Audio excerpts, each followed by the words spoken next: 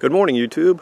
We're here camping at the Outer Banks in North Carolina in our 2017 Aliner Ranger 12 and we're making this video to show you some of the little modifications we've made to make camping in this trailer more comfortable. It's my wife and I so it's just the two of us so we've made these modifications uh, with two people in mind uh, but the, thought I would show you some little things we've done to the outside first and then we'll show you what we've done to the inside. So let's go around to the front of the camper and I'll show you a few little tips and tricks that have made things easier for us.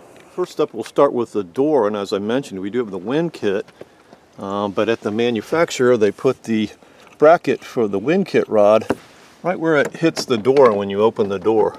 So we didn't feel like drilling out those rivets and leaving holes and re, uh, repositioning that so we got a furniture mover and glued it to the door which acts as an excellent bumper to keep that from hitting. This is the storage hatch and as they come from the factory you only have the key and you have to use the key every time you wish to open and close it. So if you want to get something out, you don't have the keys, you have to go look for them. It's a real pain. So I moved that over here and got a new latch that just you can open and close as you wish without the keys and then when you want to lock it you just go get the keys. I believe all of the Ranger 12s are now coming with four stabilizer jacks but in 2017 they did not. They only had them in the rear. So I added two in the front. That was actually pretty easy to do. I ordered these off of eTrailer I believe and you just get up underneath with a hardened drill and drill a couple of holes in the frame for the tap bolts. Uh, they give you instructions on how to do it uh, it's a little bit of elbow grease involved, but uh, they're great. Really stabilize the trailer, no more rocking when you walk around in it, and I haven't had any problems with them whatsoever. Just a couple of simple things up front. Uh, here's the pin that you use to uh, put through your catch when you hook up. I just tethered it to the post here with a little chain so you can't lose it. If you've ever lost a few of those, uh, you know, you might find that helpful. And that's just your standard barbecue gas grill gauge, a little uh, gauge you can put between your gas tank and your uh, line. It's not really that accurate, but it's better than nothing, and it lets you know if you're getting, you know, pretty low on gas, so you can go switch it out before you run out. Uh, also, we replaced the rubber line with a steel braided one. Uh, we did that after we developed a hole in this one camp out and uh, it's incredibly hard to patch those because they're under pressure. So I would just suggest going and getting a steel braided line right off the bat before you have trouble with your rubber ones. I lock my tank to the trailer with a bicycle cable. Maybe that's a bit paranoid. This really isn't a modification but it's something I use. It's just a uh, tongue lock to secure the camper when I'm away from it for quite a while and I do keep the camper in the driveway at home so I keep this on it. It's one of the better ones that I can find. I'll show a picture of it here in a minute on the uh, tongue but it's designed so you can't knock it off with a hammer you can't get a crowbar into it to pry it off and um, this is the locking mechanism comes from up underneath and it's hardened so it's uh, about impossible to drill out. There it is installed.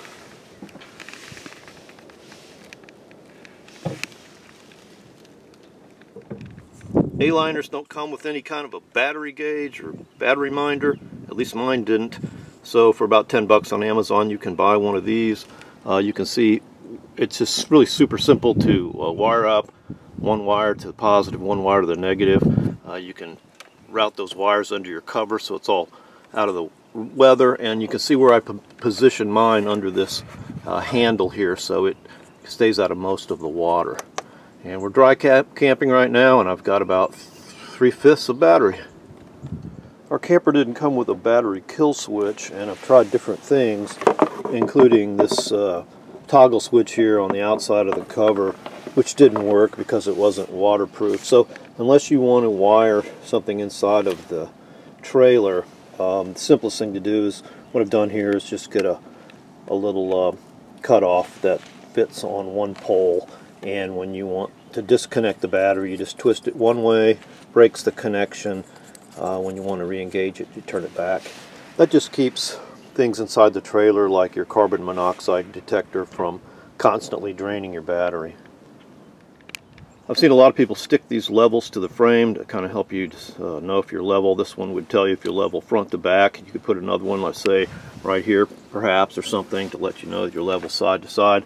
Um, they're not really that accurate, and we actually just carry a level with us in the glove compartment, come out here and throw it on the frame to make sure we're absolutely level.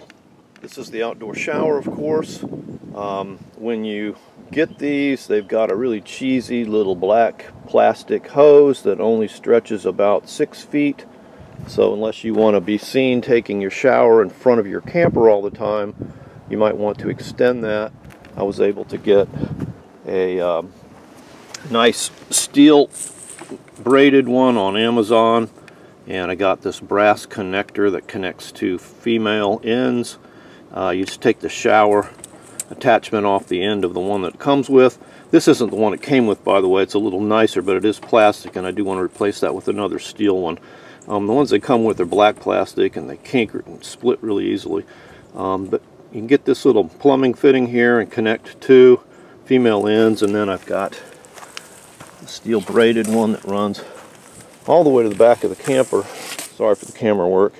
Um, and then you can put your shower head at the end here now you can stand behind your camper in your pop-up shelter or whatever it is and take a shower in a little more privacy. This is the access panel to the refrigerator and uh, serves as a vent as well. Um, these have the cheesiest little uh, catches. Uh, you probably are familiar with them. You have to pop them in and turn them with a screwdriver or a coin or something. Oftentimes they're not easy to put in. They get bent out of shape. You may think you have it locked when you don't. I lost one going down the road one time. It was about $35 to have it replaced. Uh, so now I keep mine tethered. That's just a piece of uh, weed eater cord uh, screwed in and clamped on. But should this ever fall loose going down the road, I'll hear it and I'll be able to pull over and I won't lose it and it won't be a road hazard.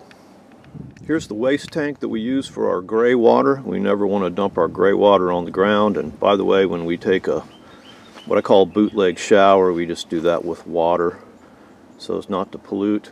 Um, this is a seven gallon, probably about the smallest kind of overflow RV waste tank that you can get. It's about all you'd want to try to carry uh, to the toilet or the dump station. Uh, we just uh, take ours to uh, the toilet and carefully pour it in. I keep sanitizer in it so it's real clean and, and, easy to do. But you do have to modify a little hose to hook it up. Uh, Aliner gives you a, a non-standard drain outlet. Uh, you can buy these, basically they're caps with a little elbow hose. Um, that's going to be a uh, male end on that and you have a male end on your tank so you need to fashion a little short length of hose with two female ends which is easy to do. Uh, works real well. well. Here are all the states that we've had Arlene in. Uh, I think we've been out about 250 nights in her so I think we know what we're doing and we do have a lot of changes we've made inside. I'm going to clean up the camper when we get home and I'll show you those because we're getting ready to do a reconfiguration of the inside to allow it to have twin beds and when I do that I'm going to lose a lot of the little things that we've done uh, to the standard configuration. So I want to so show you those and then stay tuned because when we get through doing the remodel we'll show you that as well. Thanks for watching.